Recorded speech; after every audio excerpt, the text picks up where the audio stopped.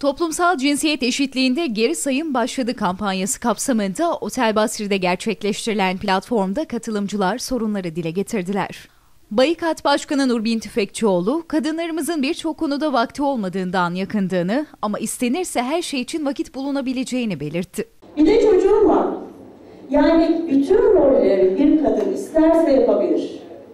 İstemek çok önemli. Ben de bir sürü sebepler sıralayabilirim. Fedakarlık şart.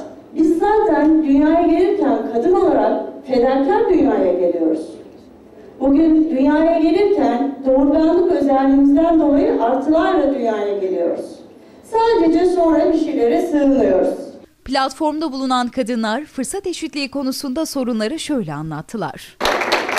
Ben hani herkes avukat, doktor hani sayıyor ya benim ben de çiftçilik, kadın çiftçiyim.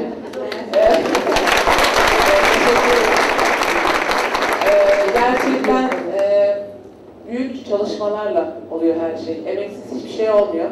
Zeytin Altınkum Mahallesi Kadın Muhtarı da KRT Haber'e görüşlerini şu şekilde dile getirdi.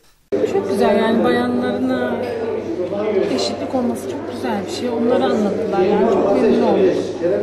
Yani ne bileyim kadınlarla toplantılarımız oluyor ara sıra.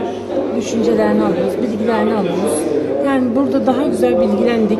Daha iyi oldu yani bizim için çok iyi oldu. Genelde doğumlu çok benim burada. Doğumlular da burada da genelde böyle işte çok olduğu için yani iyi oldu. Biz de bilgilendik yani orada onları anlatabiliriz en azından.